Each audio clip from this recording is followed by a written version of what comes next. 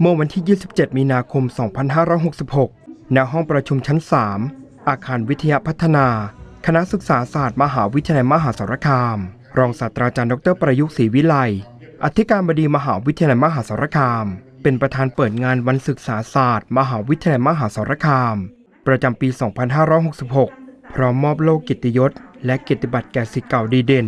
ศิษย์เก่าที่สร้างชื่อเสียงระดับชาติ ศิษย์เก่าผู้มีผลงานเป็นที่ประจักษ์ ศิษย์เก่ากิตยศ อาจารย์ บุคลากรดีเด่นด้านการปฏิบัติงาน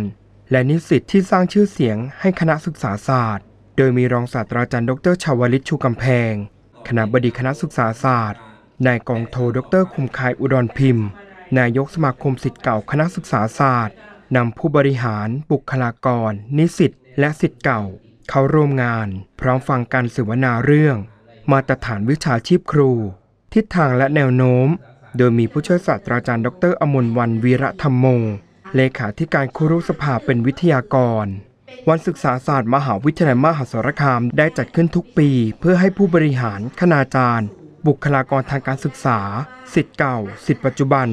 สร้างความผูกพันและร่วมกิจกรรมของคณะศึกษาศาสตร์ มหาวิทยาลัยมหาสารคาม ปัจจุบันคณะศึกษาศาสตร์มหาวิทยาลัยมหาสารคามครบรอบ 55 ปี ครบรอบการก่อตั้งในวันที่ 27 มีนาคม กิจกรรมในวันนี้ได้จัดเสวนาวิชาการการจัดการประกวดทักษะการสอน การประกวด EDU Talent 2023 และการประกวดโครงการนวัตกรรม เพื่อให้คณาจารย์ นิสิตสิทธิ์เก่า และบุคลากรทางการศึกษาทั่วไป